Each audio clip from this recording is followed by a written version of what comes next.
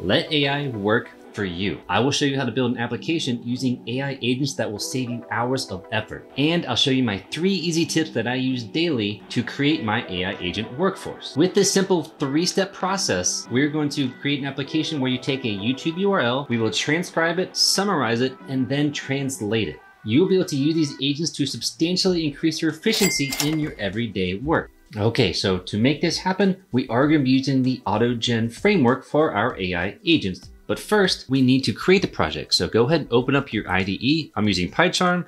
I'm creating a new project called YouTube Video Summary and using Conda as my environment. And then I'm going to go ahead and click Create. Now let's create it. Let's go ahead and create two files. We're first going to create a .env and then go ahead and create a new Python file. You can just call it main. Okay, there are a few libraries here that we need to install. So you can either run this command or I'll have a requirements.txt for you that you can just install all of them from there. And then the next thing that you'll need is FFmpeg for the audio codec. So if you're on a Mac, you can just do brew install or I'll have the link in the description for Windows users. Now, the last thing we do need before we start coding is you need your API key from OpenAI. So for the first step, we're going to download and extract the audio from a YouTube video. And Andrej here has this video for intro to large language models that is a one hour video. So we're going to use this as our video. I'm just going to copy the URL and then I'm just gonna create a variable YouTube URL with this URL. Now let's go over the code. We have a YouTube downloader options, which is just a dictionary containing options or settings for the downloader. We want the best audio format, the name for the audio file, and we want to use FFmpeg codec. And then we download the video by setting this option to true and then save the audio to file and also get the file name of that audio. There was something with saving it locally just by using this file name variable that it didn't like or wouldn't find. So I created a small loop that checks for the directory, a file like the file name, and it, then it works and returns that file. I'm not really sure why that happened, but this fixed it. But now let's go ahead and run this to see what happens. Okay, so it worked. It downloaded and saved that YouTube video and extracted the audio and saved it as a .m4a file. And it's in this format with the title and the extension based on the YouTube downloader options here. Okay, great, that worked exactly how we wanted to. Now we can move on to step two, which is taking that audio file, using the Whisper AI model, and then transcribing that so we have the text. Well, we initialized the OpenAI client using the API key we stored earlier in the .env file. And then we have this audio segment object. And what that does is it loads the audio file from our directory and converts that to an MP3 format. And then I had this chunking portion. And what this is doing is basically in milliseconds, we're going to be chunking that audio into separate sections for the Whisper model to transcribe. Because especially for this hour long video, it won't have, um, has a max value of how many tokens that it can transcribe at once. So if we chunk them out, then give each chunk to the Whisper model, that will work. And so that's what this is going to do here. And this will be about 20 minutes of the video that we can do. Okay, and now we have this for loop, and it may look complicated, but it's not that bad. So this enumerate here, so that we have a range from zero to the length of the audio file.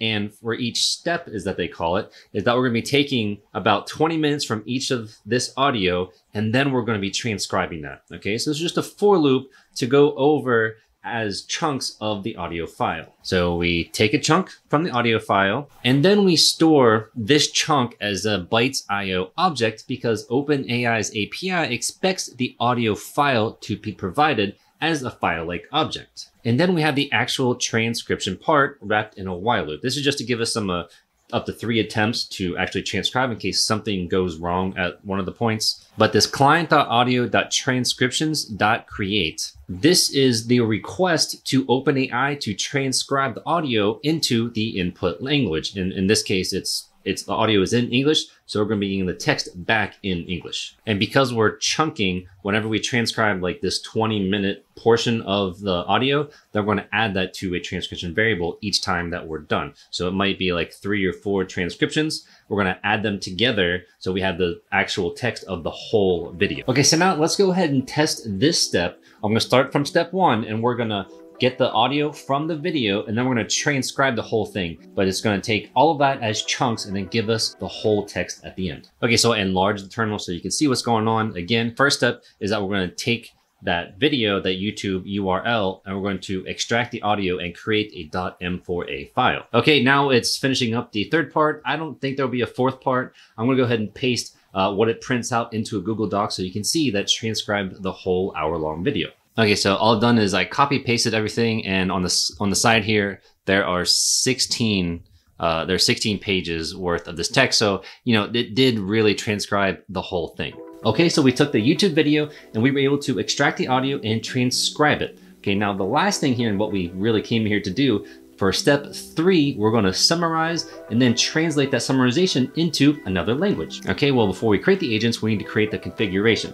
So you create an LLM config, give it a config list, and then we need to set the model and API key. The model can be whatever you want. Most of the time, 3.5 Turbo is good enough, but I'm just gonna use the 4, the GPT-4o model just for this use case, right? Because I just want, I know I want to use that one. And then for the API key, this is the same thing that we get from our, uh, that we set in our environment variable earlier. Now we have three agents to create. We have a user proxy agent, which just acts as you or me. So I give it a name, a system message, a simple message. Uh, I set the human input mode to never, meaning that I don't want to be involved with this chat. I just want these agents to do what they're supposed to do.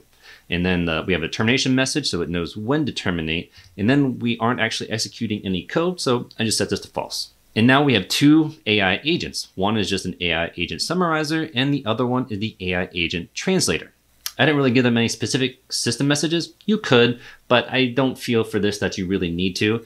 And then you just need to give them the LLM config so that they know uh, what model to ask to generate something. Okay, the last thing is the user.initiate chats. Now that's plural, right? Normally you just say chat and you have uh, one agent interact with a group chat or just another singular agent. But this time it's user chats because I want to first talk to the summarizer then I want that summarizer to give the summarization to the translator, and then the translator will translate that into some language. And in this case, I want to translate into Dutch. That's what I'm learning right now. So that's what I want to do.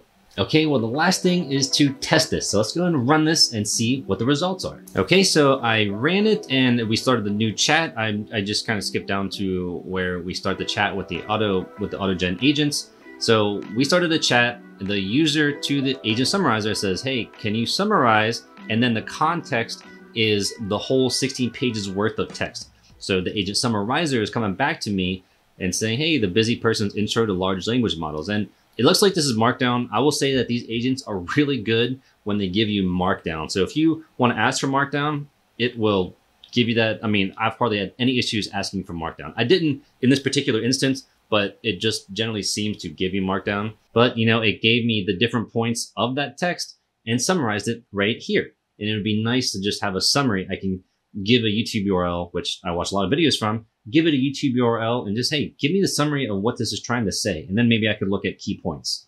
And then we, then lastly, we start a new chat. So the user is saying to the AI agent translator, can you translate this into Dutch? The context is the summary that we uh, we just saw. So it gave that. And then the AI agent translator is saying back, well, it translated into Dutch.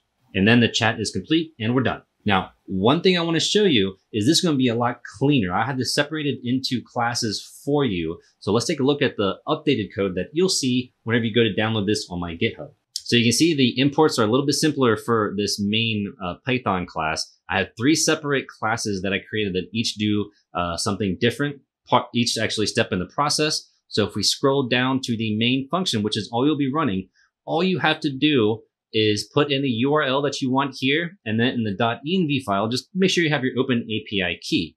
And the first step is we download the YouTube uh, URL, we extract the audio from it, then we transcribe it, and then we take the AI agents and we initiate the chat, and then they print that out for us.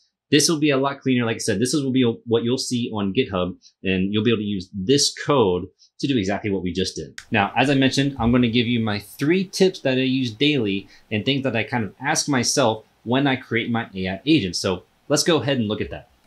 Okay, so for the first one, I'm going to talk about the cache seed, which is located inside of your LLM config, which is then given to all of your AI agents so they know what model to choose from and some other settings like the temperature. Well, what the cache seed does is if you don't have this at all, this defaults that number to 41 and it'll save your workflow after you run it into a cache database on your project directory.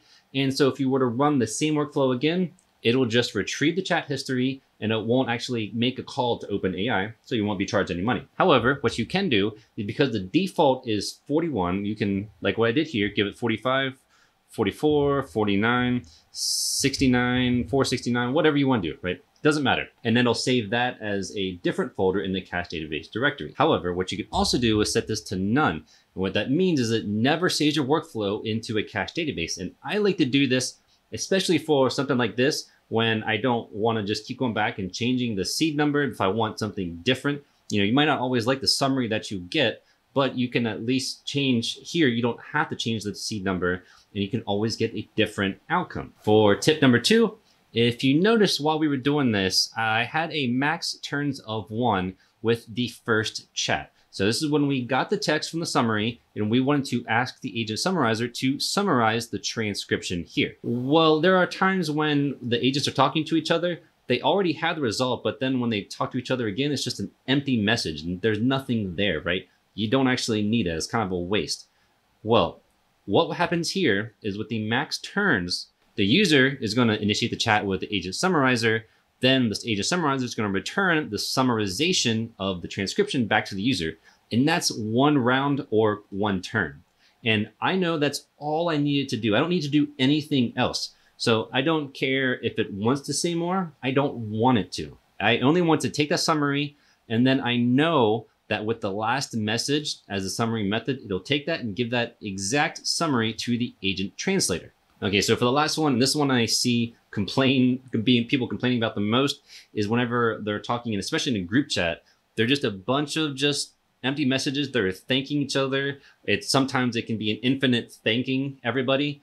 So what I do, and this really decreases that from happening, is at the end of your system message for the AI agents, put this in when you are done, comma, reply with terminate. And then in the user proxy agent, whenever it sees terminate in the content, then it finishes the chat, right? So you don't need uh, to worry about having this infinite chat waiting for somebody to say, hey, we're done here. What do we do next? This is a really helpful tip to help you get past that. Okay, this is how you should let AI work for you. Let them take care of all of maybe the manual work or some of the repetition work that you do. I get it that there are some things that you still just kind of want to watch for yourself so you can listen, but that's not needed all the time and not everywhere. And this is your first introduction to the AutoGen framework, or if you still kind of have some questions about it, I have an AutoGen beginner course here that you can watch and it'll teach you so much more about it. Thank you for watching. I'll see you next video.